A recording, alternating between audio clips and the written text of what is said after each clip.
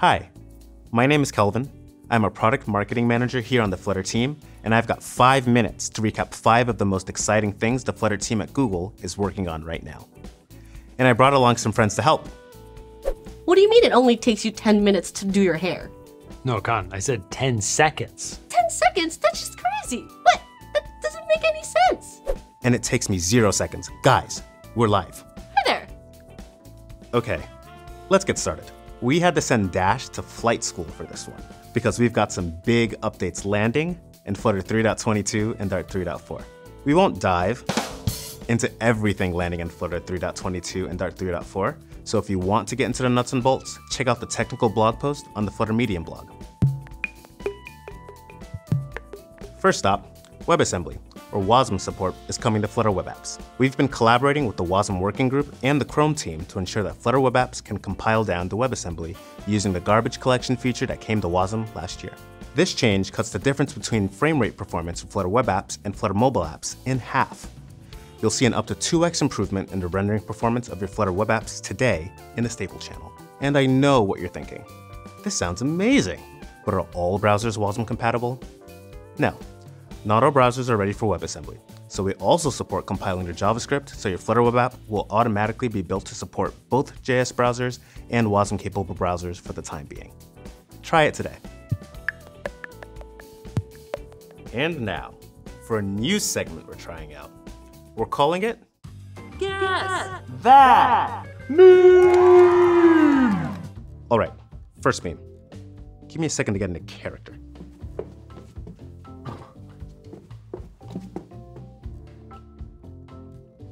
Did you get it? You can't jank due to shader compilation if there is no shader compilation. Which brings me to Impeller, the new rendering engine we graduated to the stable channel for iOS last year. Over the last 12 months, we've been working hard to continue improving Impeller. The results so far are super exciting. We're seeing big performance improvements for complex shapes like SVGs or Lottie animations, and up to 2x faster runtimes for blur effects on iOS. And with those strong performance wins on iOS, it's time to bring the same to Android. So we're excited to announce that Impeller for Android Vulkan-enabled devices is feature complete and is now available as an opt-in feature when building for Android. You can try it now in the stable channel behind this flag. This requires zero changes to your code, and folks who've tried it have seen a 30% faster frame rasterization rate. Oh, and PS, there's still shader compilation, it just happens at build time instead of runtime. You know what's better than writing your own code?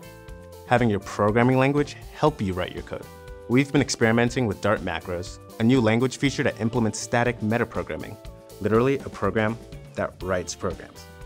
We've progressed to the point that we need data on how this new feature works with real apps, so we shipped a single macro designed to simplify JSON serialization. Here's an example.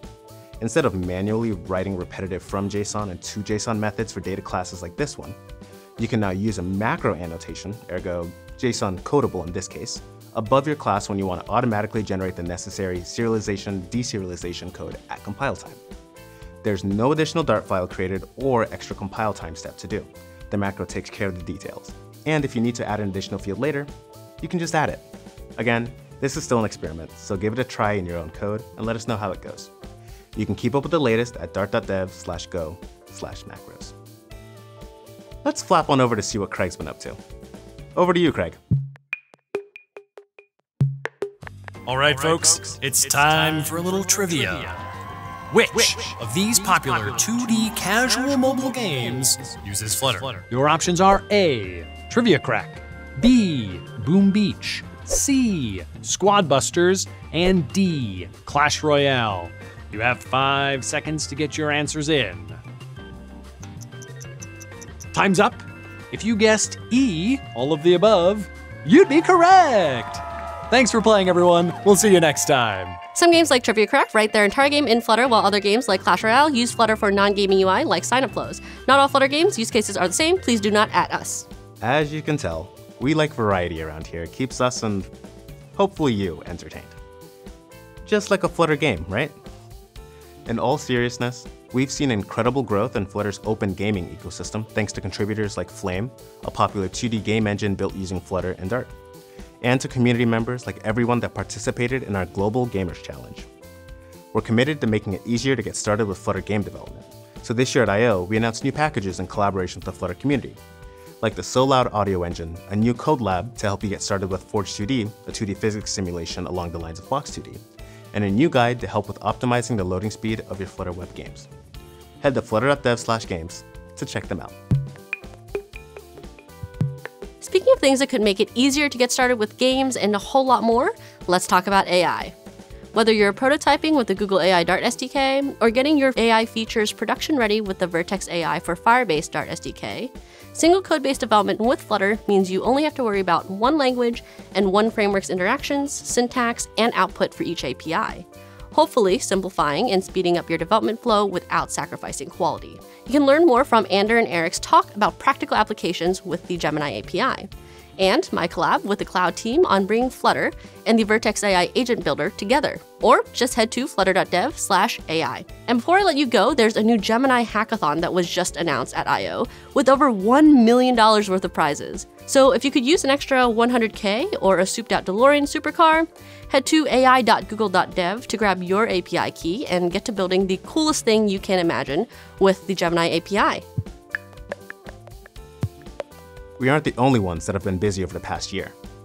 As always, we're incredibly grateful for the Flutter community's contributions and support, and we want to assure you that this is just the beginning.